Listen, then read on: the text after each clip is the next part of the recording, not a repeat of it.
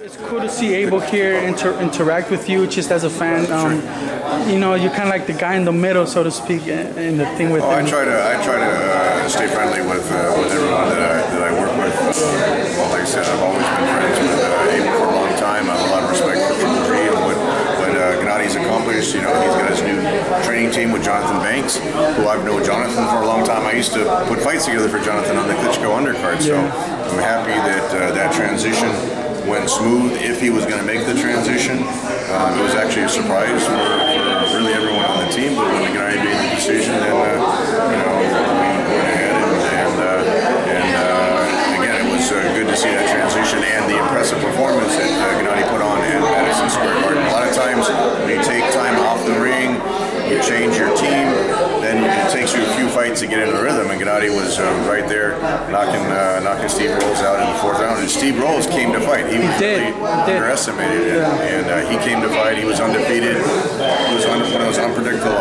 unpredictable opponents. But we have a lot of respect for uh, Rolls, and, and Gennady still has that one punch knockout power. So we were excited about that. You know, we'll see uh, what's next for Triple G. You know, there was a big top ranked card in association with MTK Global, I think, in Kazakhstan. If you, if you yeah. win on that, it was a big card, big stadium. Do you feel that, you know, what you guys have done with Abel and Gennady, just that little niche that you guys built in the history of boxing, opened up doors for those kind of things? Oh, it definitely opened up the doors for the fighters in Kazakhstan. It just raised it to a whole different level. Kazakhstan's always had great fighters, mostly amateur fighters. You know, they've had gold medalists, silver medalists. Uh, Gennady was really the one that opened the door professional boxing, where the kids could get inspired by, okay, well, I can really make, you know, become a world professional world champion. I can make a living in the United States. Remember, when Gennady grew up, he was still part of the Soviet uh, era where you couldn't turn professional. Same era like the Klitschko's, where they were coming up out of out of, uh, out of Ukraine, where uh, Vladimir won the gold medal. George, we'll see you later. It's good to see you. Thanks for coming out. I'll be up at the fight. Yeah, I know. I He's talked to going to be there at the Hollywood Fight yeah. also. I'll He'll do a meet and greet before the fights. Yeah, sure. All right, George. All right, take care, buddy. All right, thanks. Good seeing you. Okay. So, uh, you know, the Klitschko's were really the first ones from Eastern Europe to take it to that commercial success, being heavyweight champion. Actually, both brothers being heavyweight champion at the same time, selling out arenas, selling out soccer stadiums. Triple G, when I had the meetings with HBO and Showtime originally, they didn't. A lot of people like Kazakhstan, and, and you know, he was an undefeated middleweight champion, but they didn't know what to do with him.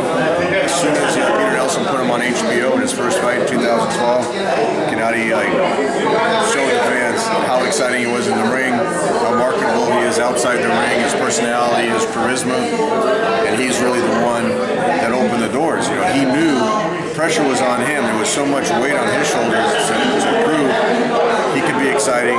He could really carry the torch for Eastern European fighters. We were selling out Madison Square Garden. We were selling at the Forum. We sold out T-Mobile twice. We sold out the O2. So he's really the one that uh, opened the doors. And now you got a lot of fighters coming from that Eastern uh, Eastern Bloc countries trying to be like Triple G. But, you know, really, honestly, there's only one Triple G.